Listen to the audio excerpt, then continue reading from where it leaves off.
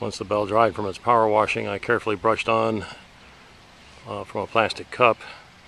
the uh, CLR solution, uh, concentrating first on the uh, the bell flare at the lower end and the uh, camp at the upper end because they tend to capture the most uh, contaminants from the air and the other things that the storms blow in. See that we've got the power washer positioned to rinse it off once the CLR CLR's done its stuff.